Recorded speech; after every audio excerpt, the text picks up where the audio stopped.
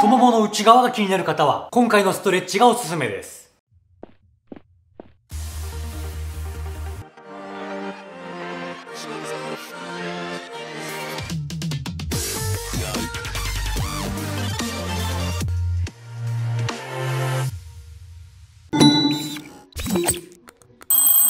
はい、皆さんこんにちは、タートルです。今回ですね、太ももの内側のお肉が気になる方におすすめなストレッチを紹介します。この部分なんですけど、スクワットをした際に大体使われる部分、内転筋と言われるとこがあるんですけども、その内転筋はストレッチをしないと、内もものエクササイズ、スクワットをした際に筋肉が発達してしまう可能性があります。大体下半身のエクササイズでは内転筋が少なからず使われますので、太ももの前側、裏側と別にですね、内転筋のストレッチも含めてエクササイズサイズをその後にやってもらえたら、太ももの内側が細くなりやすいです。では、紹介します。片足曲げて、反対の足は楽に伸ばしておきます。つま先がまっすぐですと、ハムストリングに意識が行きやすいです。内転筋に活かすためには、基本的につま先を開きます。開いた状態で内転筋がしっかり伸びていきます。この状態で体を少し前に倒します。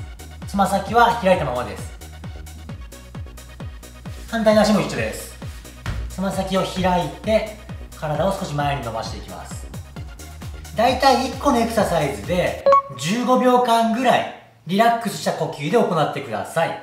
今回は種目ばかり紹介していきます。はいでは今度はですね足の裏を合わせてかかとが近い時かかとが遠い時2種類必ず行ってください。これでしっかり内転筋が伸ばされます。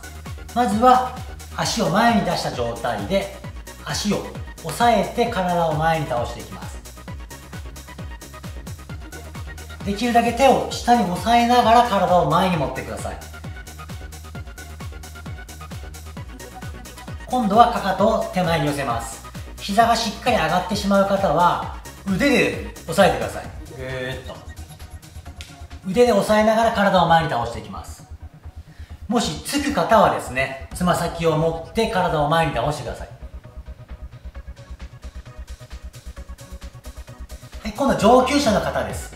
今の分ができる方はカエル足といってですねこういう感じで三角を作る感じで体を起こします。